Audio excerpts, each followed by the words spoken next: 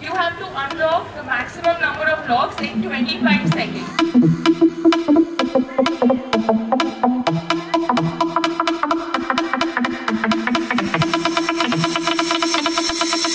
It's a small voucher from us. Thank you for participating.